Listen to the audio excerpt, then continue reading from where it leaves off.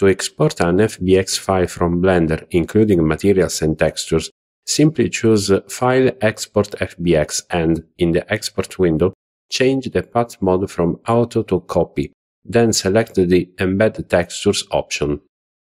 When importing it into a new Blender project, you will find the principled BSDF node and the image texture correctly connected to it.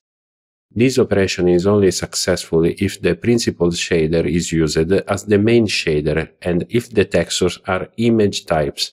So don't close this tutorial yet, because I will go into more detail on this point soon.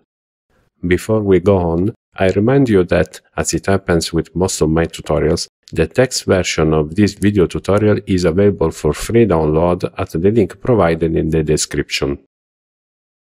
Depending on the game engine in which you need to use the 3D model, it may also be advisable to change the smoothing option in the geometry section from normals only to face.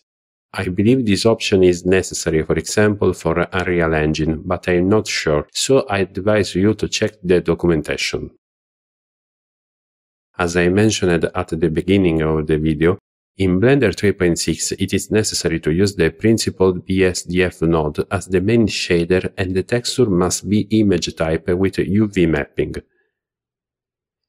The parameters of the principled BSDF shader exported in the FBX file in this version of Blender are base color, specular intensity, specular tint without texture, roughness, metallic, IOR, transmission, alpha, and normal.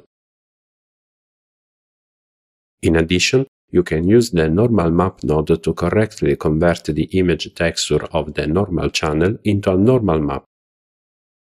It is not possible to export procedural textures unless we first bake them to convert them into a UV mapped image texture. Maybe I will talk about this topic in another video, if you want.